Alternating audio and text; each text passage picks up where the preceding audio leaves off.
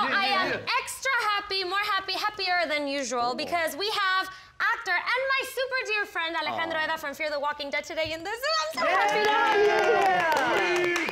This guy has made me proud so many times. So I'm very happy that you're here today. Welcome, welcome, Thank you. welcome. Thank you all. As a fan of the show, you know what to do, right? Yes. A la una, count of three. a la dos, y a las tres. Wow! Wow, okay, good. You guys are watching the show before you come on. I like this. I like how you don't I'm have to explain it fan as of much. this show. Thank you, sir. It- you know what? It's actually a very. it feels like it's like a familiar show to me. Mm-hmm. First of all, because the guests have come before, most of them either I know, Oh. or I admire, Right. or I um, have a relationship with professionally. Well, we've had most of the cast of Fear of the Walking Dead on the show already. So Well, but that, but you have casting directors like Blanquita, eh, Fernando Lebrija vino Fernando. Lebrijo, Lebrija, mis compadres de Kinky, Yeah. eh, que faltaron varios, pero bueno, estuvo Joaquín y Verónica Falcón. Wow, que- O sea, conoce a todos los que han venido. Y, y todos somos representados por los mismos managers. Así Oh. que saludos a, a mi show. Hey, pero tú sabes lo que eso dice? Eso dice que muchos latinos are making it in Hollywood. Because we can true. have them on, on, on the show Claro. and you know and are working with Y ese es el show que nos está exponiendo, la verdad. Y este show, Exacto. este show, digo, ustedes cumplieron en mayo, abrieron, ¿no? En mayo 16. Sí, sí, sí. Mayo 16, yo cumplo mayo 17, mi cumpleaños. Y yo octubre 17. Felicidades a mí, Mándale. gracias. Ah, sí. ¿Qué signo es? ¿Qué signo up. Tauro, igual que ustedes, de su es, es taurino. Ah. Y yo siento que así como nosotros latinos estamos, pues, no quiero decir explotando, pero sí avanzando Right. de buena fe, este show también va a avanzar de buena fe y, y- Amén. y va, y va a crecer. Y Un fuerte aplauso, come on, es verdad, es verdad. No mames. Felicidades por lo que están haciendo. Eh, a María, que es una gran amiga mía, y me acuerdo perfectamente cuando estábamos en mi casa hablando de este programa, que te iban a Oh, contratar. yeah. Entonces, pues gracias por invitarme. y también- House calls. Woo. Pero bueno, hablando de todo esto que se está logrando, Ale, este, bueno, nosotros queremos contarle también al público, Alejandro Eda está ahora en Fear the Walking Dead. Quiero que nos cuentes un poquito acerca de tu experiencia trabajando en un cast como ese, porque aparte no es lo único que está haciendo, por eso vamos un poquito más adelante. Cuéntanos de Fear the Walking Dead. ¿Cómo es tu personaje? ¿Qué podemos Eh, esperar? What's happening? Mi personaje es Marco Rodríguez, es, un, es el líder de, de una de los narcos, se puede decir, ¿no? de un gang. Y, y Marco tiene algo parecido, como como un poquito me relaciono con él de una manera. Es un chavo que creció humilde y empezó como que a hacerse un poquito de armas y de como de strength y de fuerza para llevar a sus pseudos a combatir este post- mundo post-apocalíptico. Y de una manera Marco tiene que ver conmigo porque también él, él venía de nada y empezó como que a crecer un poquito y a echarle ganas y a defenderlo en lo que él cree, ¿no? En este caso, pues él cree en su, en, en, pues ahora sí que en hacer más desmadre. ¿Pero eres bueno o malo? soy malo. Ok, ¡qué rico! Perfecto. Soy malo, soy malo, soy matón y un, un buen mexicano matón de Tijuana. Y, y mi personaje no habla inglés en la serie, entonces me encantaba poder recibir los guiones en inglés y yo traducirlos a mi español. Ah, y era, pues tenía mucha libertad y eso me encantaba. Y por fin pude, aparte de que estábamos con gente en Tijuana, yo les decía, ¿cómo dices esto aquí? ¿Cómo, cómo hablan ustedes aquí con locales? ¿Qué Los cholos, ¿no? ¿Qué groserías ocupan? No tanto los cholos, sino los narquillos, como Los los, narquillos, sí, ya ok, sabes, los ok. What's a norteñones. narquillo? Drug Norteñones. Sí. Yeah, narco. It's just a cool way of saying I'm like, I don't know. I've never heard that word before, though, narquillo. I'm familiar. Yeah. Tenemos narco. un clip del show, vamos a verlo. Vale. Check this out. Okay. Fear the Walking Dead. hacemos con las ratas? What you? Les cortamos las manitas. You're gonna chop off your hand. No, no, no. Wait, translate for me. Ask him if that's his sister in there. Is it your sister in there? Ask him. ¿Qué dice? Ask him, is that his sister? Dice que si esa chica es tu hermana. Okay. No, no, wait, wait. If he doesn't let me go, we'll take our business elsewhere. Que si no nos dejas ir, que no nos vamos a comprar más aquí. Bueno, a mí... Wow, oye. Wow, thought you were a nice guy. Ah, You're a good nice. actor because you seem like a really nice guy, and you seem like a devil in that uh, clip right there. I don't know why.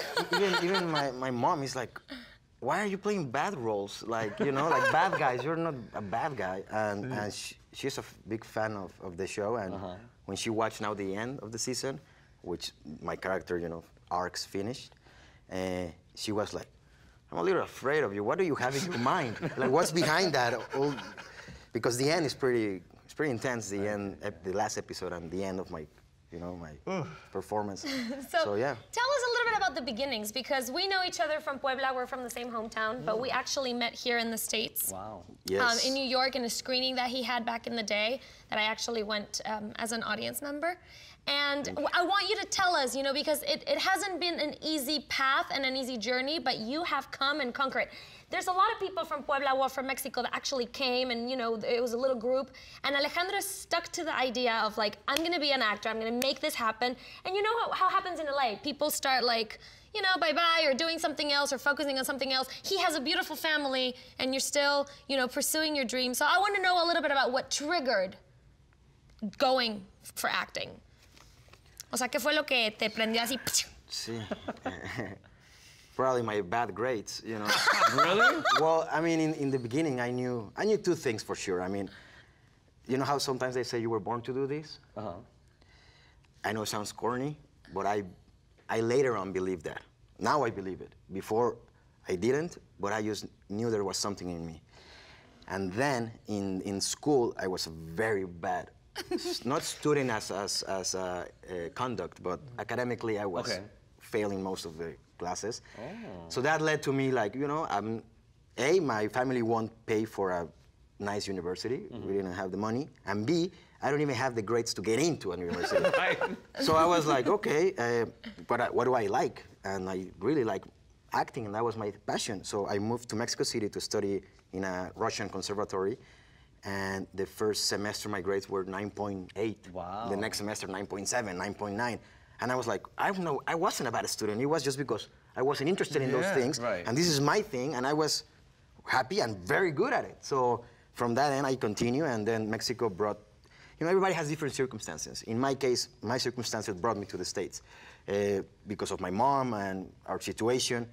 So I don't think there's a, a path that you have to follow, but there's something that you have to listen what is around with, to, I mean, around you, and that's what I think has kept me just going Focused. forward and, and, and, and yeah. Ay, qué focused. chulo. Well, no, you, you know what? We're, we're keeping the show moving forward because we're going to take a break and we're going to come back with more with Alejandro Etna, ¿cómo se dice? Edda, Edda. Edda. Alejandro Edda, here it is. Look, I here, never here, do look, this. here, It's just look, some look, Spanish, look, look, Alejandro, look. please.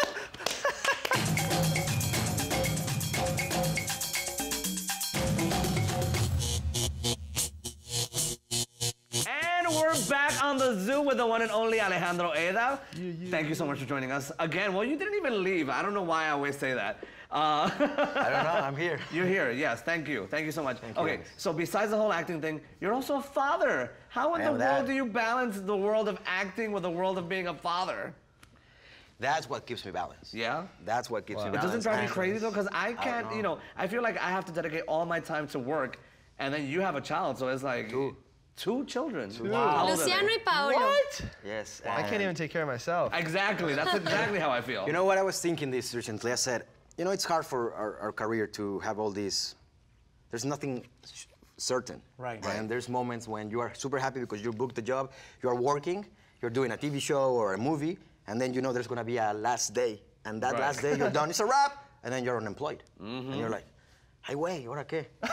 so I was thinking that that that in order for me to keep that alive and that hungry and, and that hunger, sorry, is really my family. So actually, my balance comes from my family. So I'm not suggesting it, but I think sometimes in this career, what you need to do is to really have that.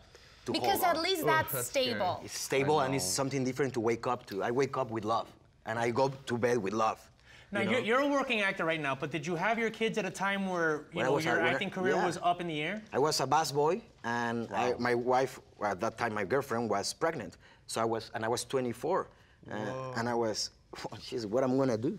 You know? That's my age. I'm 24. Yeah. I'm freaking out thinking about like Yeah. about, Having about and I a was, a, kid I'm, so I'm a bus boy, you know, trying to be a server while auditioning for Domino's or you know McDonald's commercial, and then yeah, a, A- a- a a newly to-be- father. yeah, soon with- to be father. And then I learned that actually babies don't, they're not, they're born, but they don't ask for money. Uh huh.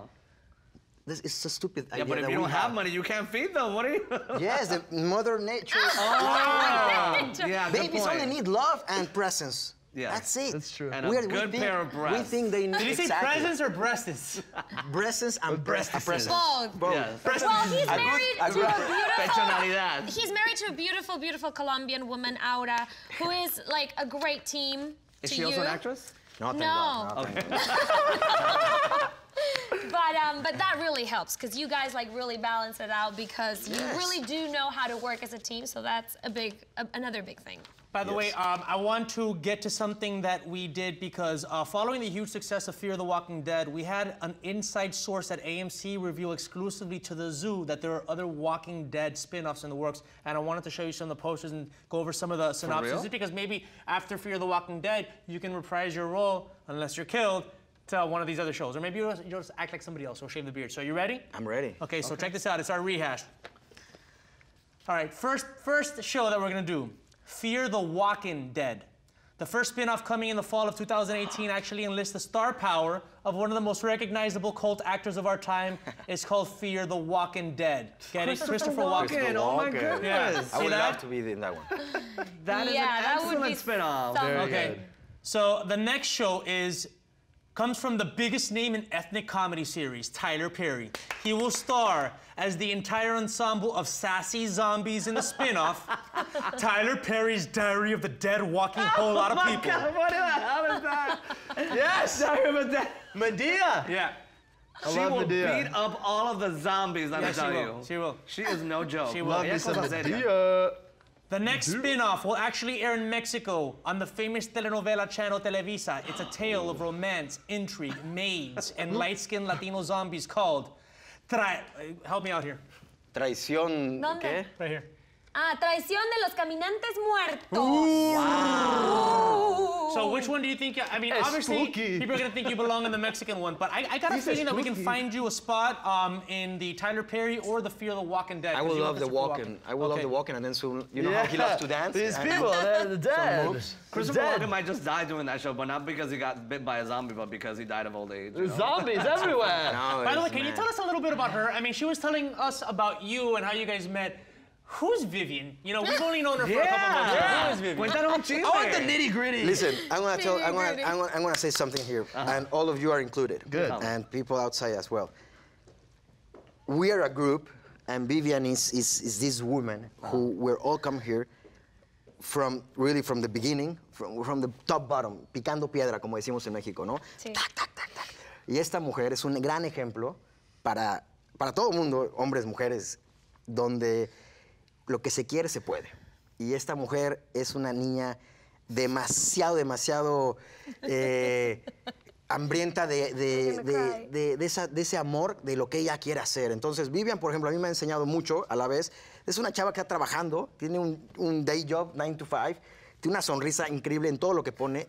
El que ella está eh, haciendo este show para mí me ilusionó muchísimo. Compartimos el mismo agente de voz, está haciendo ya comerciales de voz. Sí, este, cosas. Yo la verdad nada más espero unos añitos más para que yo te esté entrevistando a ti. Amén, amén. Y todos ustedes, yo sé que tienen esto. O sea, ustedes también son actores, hosts, radio hosts. O sea, el talento aquí es in- indescriptible. O sea, Oh, yeah, are you like the Mexican Tony Robbins? Yeah, what's going on? I'm ready. I love Yeah. Tony Robbins. Tony Robbins is amazing. I love her. ¡Saya! ¡Saya! Yeah. Thank you. Ay, cuánto te quiero. Now, do you think all that's going to change if a guy named Trump became president? Do you No. think that all these actors would be exported and we wouldn't be in any No, movies or anything? absolutely not. What do, what do you think? Just we only have one minute left. What do you think, as a Mexican and a Mexican working here in the United States, what do you think about what Trump signifies? No, he doesn't signify anything but just negativity and pure evil. Yes. That's it. And bad hairdos. Yes. Um, yeah. Couldn't have said it Let's better. turn him into Yeah. a zombie. Let's don't bring Donald Trump into this beautiful set. Nice. we have a yes. piñata of uh, That's Donald the problem. that's it. Everyone brings him everywhere. We didn't get him Let's out. turn him into this Bueno, zombie. y con eso terminamos el show. Muchas gracias por Gracias, acompañarnos. Gracias, Ale. hermosa. Felicidades, Ay, cómo te quiero. And thanks to all of our guests, and of course, Jay Alvarez for joining us today. Remember, you can follow us online at The Zoo on LATV for Roku, for your cell phone, and for everywhere else. Just go find us, all right, LA people? TV Mobile. That's right. See you guys next time right here on The Zoo. Bye.